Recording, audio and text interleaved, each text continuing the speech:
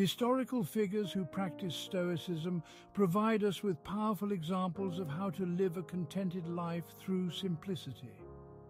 Marcus Aurelius, a Roman emperor and Stoic philosopher, used his meditations to remind himself of the importance of focusing on what he could control and letting go of everything else. His writings express a deep understanding of Stoic principles and reflect his struggles and strategies for maintaining tranquility amidst the chaos of imperial responsibilities. Seneca, another Stoic philosopher, took a practical approach to Stoic simplicity. In his letters, he advised his contemporaries on how to handle wealth responsibly, how to face adversity with calmness, and how to live a life of virtue. His thoughts on the brevity of life and the importance of focusing on the present moment are particularly relevant today as we grapple with the distractions and pressures of modern living. By studying these Stoic masters, we can glean insights into managing our own lives with grace and composure. Their lives and teachings show us that it is possible to lead a fulfilling and honourable life, regardless of external circumstances, by adhering to the Stoic virtues of wisdom, courage, justice and temperance. Their legacy is not just in their words, but in the timeless example they set on how to live meaningfully. Embracing Stoic simplicity is a personal journey that starts with self-reflection. It requires us to examine our values, our desires, and our daily habits. Are we pursuing things that truly matter to us, or are we caught up in societal expectations? This introspection can lead to profound changes in how we live our lives, prompting us to let go of unnecessary possessions, commitments and stresses. This process is not about renunciation, but about realignment. It's about identifying what adds true value to our lives and what detracts from it. For many, this can mean a shift towards minimalism in possessions, but more importantly, it involves a minimalism of thought and action. Focusing on fewer but more significant tasks and relationships can lead to greater satisfaction and a more profound sense of peace. The journey to simplicity also involves embracing the concept of enough. Recognizing that we have enough, are enough, and do enough can liberate us from the endless cycle of wanting more. This recognition fosters gratitude and contentment, key elements in the Stoic pursuit have you ever caught yourself muttering under your breath, rehearsing a conversation in your head or mentally replaying an event from earlier in the day? If so, you're not alone. This internal monologue, this silent dialogue we have with ourselves is known as self-talk and it's far more common than you might think. In fact, it's something nearly all of us do, often without even realizing it. We use self-talk for a variety of reasons, from problem solving to emotional regulation, and it plays a significant role in shaping our thoughts, feelings, and behaviors. Self-talk is a form of inner speech, helping our brains process information, regulate emotions, and guide actions. It's a fundamental aspect of human cognition, rooted in our evolutionary history. Our ancestors used self-talk for survival, planning hunts and avoiding danger. Today, the mechanisms of self-talk remain largely the same. Neuroscience reveals a complex interplay between the prefrontal cortex and the limbic system. These regions light up during self-talk, showing the brain's active role. We all have an inner voice, a constant stream of thoughts and commentary running through our minds. This inner dialogue can be supportive, but it can also be incredibly critical and judgmental. Negative self-talk whispers doubts and insecurities impacting our thoughts, feelings and behaviors. It tells us we're not good enough, smart enough, or worthy enough. It can be harsh and condemning, like a relentless inner critic. Negative self-talk chips away at our self-esteem and fuels anxiety. Negative self-talk doesn't just appear out of thin air. It's often deeply rooted in our past experiences, shaped by early childhood interactions, social conditioning and cultural norms.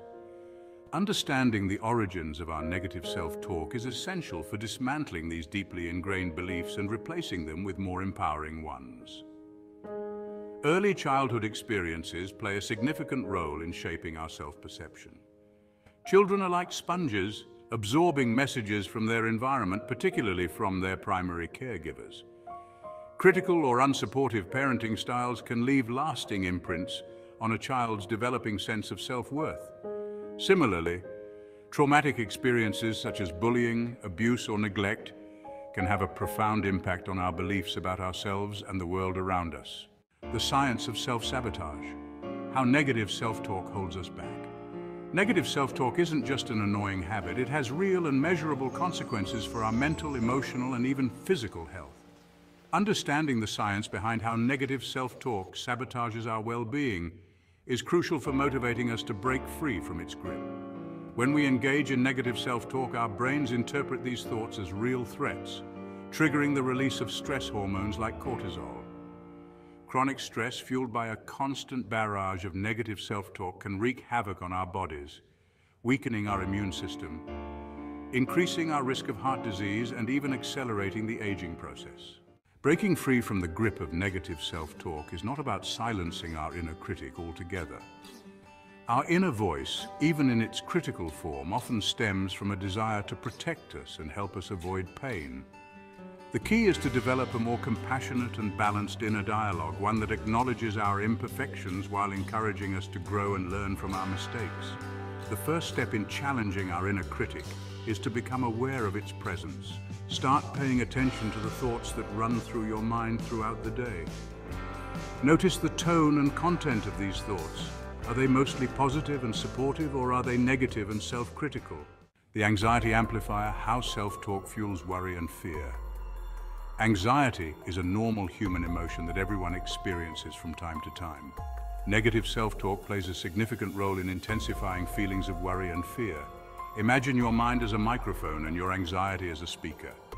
Negative self-talk acts as the amplifier, making worries seem louder and more threatening. Mindfulness in solitude allows us to observe our thoughts and emotions without attachment. This practice helps us understand the transient nature of our feelings, including loneliness. By sitting with our loneliness and observing it with compassion, we begin to dissolve the barriers we have built within ourselves and with others. Furthermore, solitude is seen as a profound way to connect with the universal truths of existence. When we are alone, undistracted by the noise of everyday life, we can better hear the whispers of our true selves and the universe. This connection fosters a sense of belonging that transcends physical company and addresses the deeper roots of loneliness.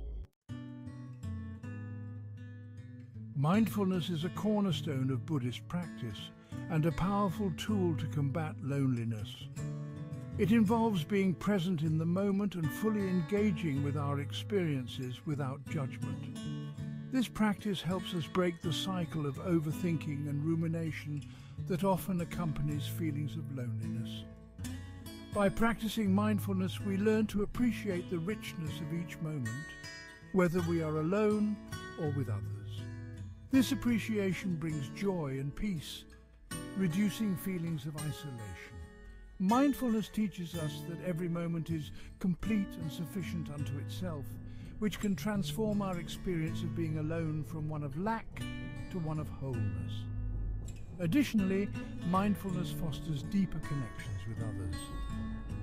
When we are truly present, our interactions become more genuine and empathetic, which strengthens our relationships. This genuine connection is key to alleviating loneliness and building a supportive community around us. These steps, you have the power to change your